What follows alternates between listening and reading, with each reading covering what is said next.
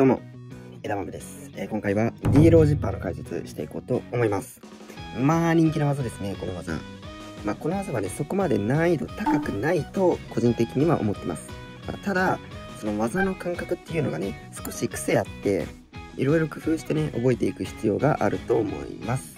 まあ、ぜひね、えー、この時点で高評価をしてもらえるとこれがね、動画を作るモチベにつながってみんなにもっとたくさんの動画届けられると思うので、ぜひ押していってください。ということで参ります。レッツラッゴー。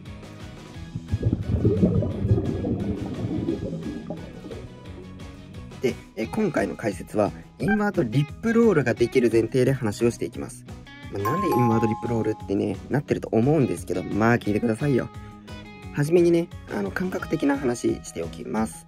で、この技はノーワードまたはインワード寄りのノーワードの技です。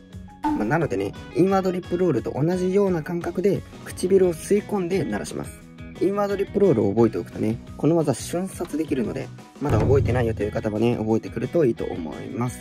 まあ、一応ね、あのコメント欄にインワードリップロールの講座リンク貼っておくので、使いたい方を使ってください。で、やり方解説ですス。テップ1、この口の形を作る。まあ、画像出てると思うんですけども、音を鳴らさない側の口角を横に引っ張って、鳴らす側の下唇を上前歯の裏に潜り込ませる。っていう感じですね。で、どれくらい潜らせればいいのか。まあ、これは、だいたい上前歯から剣士の間ぐらいに、まあ、唇潜らせればいいかなという感じですね。まあ、人によってここは違うので、大体と言っておきます。で、ステップ2、インワードリップロールの要領で下唇を勢いよく内側に引っ張る。音が高くならないよっていう方もね、少し歯と唇の距離を近づけてみてください。まあ、隙間がないほど音が高くなります。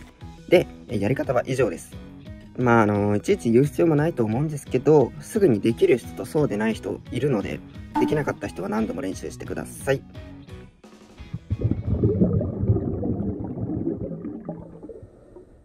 そしてね、今度はこれの音が低いバージョンのやり方を解説します。ステップ2までね、あの、高音バージョンと同じです。で、ここから違う点、これは歯と唇の距離を少し離してあげることと、喉を開いてあげることです。で、まあ、喉を開いてあげることによってね、しっかりとした音に仕上げることができます。またね、唇の距離っていうのは、さっき言った通り、距離がなければないほど音が高くなるので、低くするのであれば、話す必要があります。